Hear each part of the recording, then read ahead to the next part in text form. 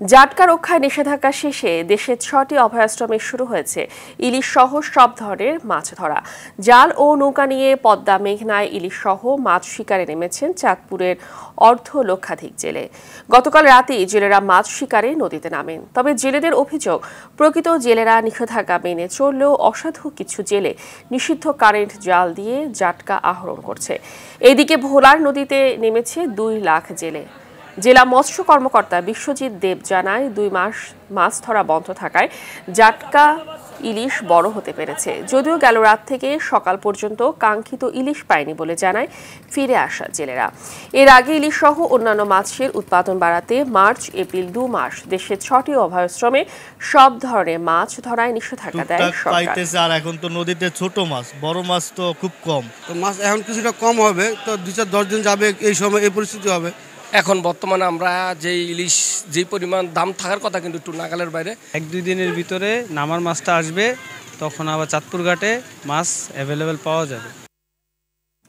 দর্শক এই বিষয়ে আলোচনাতে ভোলা থেকে সরাসরি যোগ দিচ্ছে সহকর্মী অমিতাভ অপু। অপু অপু মাছ শিকারে জেলেরা নদীতে নামার বিষয়ে কি তথ্য আছে আপনার কাছে জানাবেন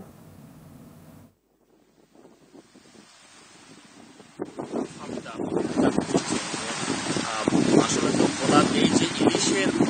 প্রচলন বা ইলিশের যে নির্ভরতা ভোলা একটি বিস্তীর্ণ এলাকাতেই জেলেরা রয়েছে ইলিশের কে কেন্দ্র করে। এই এই অঞ্চলটি কিন্তু ইলিশের উপরে নির্ভর করে, ব্যবসা বাণিজ্য সহ সকল কিছু নির্ভর করে। সুতরাং দুই লক্ষ জেলের যে জীবনযাত্রা, তাদের যে মাছ ধরার উপরে নির্ভর করছে, অর্থনৈতিক বিশাল একটি বিভাগ কিন্তু এর উপর নির্ভর করছে। সেই সে জেলেরা দু মাসের মাছ ধরা শেষে গত রাত বারোটার পর থেকে তারা মাছ ধরতে নেমেছে। মেঘনা এবং তেঁতুলিয়া নদীর এই অঞ্চলের একশো নব্বই কিলোমিটারের অঞ্চল, অঞ্চলে, যেখানে তারা মাছ ধরে আজকে সকাল দুপুর পর্যন্ত তারা যে মাছ পেয়েছে, তারা সে কাঙ্ক্ষিত মাছ পায়নি। জেলেরা দাবি জানাচ্ছে যে আসলে তাদের সেই মাছ তারা পায়নি। অর্থাৎ এখানে আমি যদি একটু দেখাই মেঘনা নদীতে এখনও যে জোয়ারের সময় জেলেরা নদীতে নামবে, অনেক জেলে নৌকাগুলো সেভাবেই কিন্তু এখন সেই মাছ ধরার জন্য তারা যাচ্ছে, জাল ফেলবে, এর জন্য তারা কিন্তু চলে যাচ্ছে। কারণ জোয়ারের সময় জাল ফেলবে, ভাটার সময় সে জাল তারা তুলে আনবে। এরকম যে একটি পরিস্থিতি, সেটি কিন্তু নির্ভর করছে এই জেলেদের মাছ ধরার উপরে।